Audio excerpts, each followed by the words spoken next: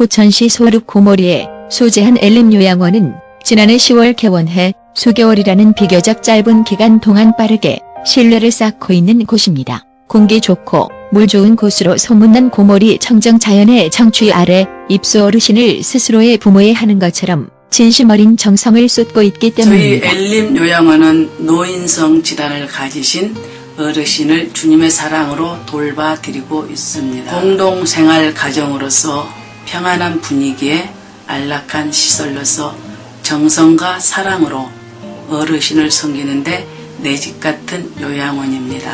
눈앞에 펼쳐지는 고모리 저수지와 주변을 수려한 풍경을 느낄 수 있으며 맑은 공기와 풍부한 일조량 등 최상의 자연의 조건으로 어르신이 만족하시는 환경을 갖추고 있습니다. 정원은 9명으로 고즈넉한 풍경 속에 마치 개인 별장과 같이 꾸며져 있습니다. 정원 9명의 어르신이 활동하기에는 충분히 넓은 공동생활 가정의 공간이 조성돼 있으며 4개의 침실과 2개의 화장실과 프로그램실, 식당, 사무, 상담실, 세면장 및 목욕실 등으로 구성돼 있습니다. 건물 앞에는 넓은 마당이 있고 텃밭을 갖추고 있는 것 역시 돋보입니다. 보다 편안한 분위기와 안락함에 중점을 둔 것이 특징입니다.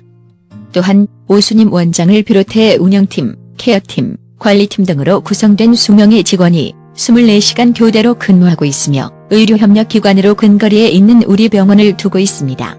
가장 중요한 사항 중 하나인 건강 식단에 있어서는 오 원장과 시설장이 직접 신경을 기울이고 있어 더욱 믿음이 갑니다. 주님의 사랑으로 실천하는 엘림 요양원은 항상 열려 있습니다. 찾아오시는 길은 강릉 수목원에서 8분 거리입니다. 언제든지 찾아주시면 감사하겠습니다. 한편 오수님 원장은 엘림 요양원의 모체인 구모리 생명잔원교회의 담임 목사입니다. 엘림 요양원은 남편이자 같은 목회자인 이인형 부원장과 함께 기독교적 사랑을 실천하기 위해 개원했으며 그 외에도 지역 어르신 대상 경로잔치 등으로 지역사회를 위해 꾸준히 좋은 일을 할 계획입니다.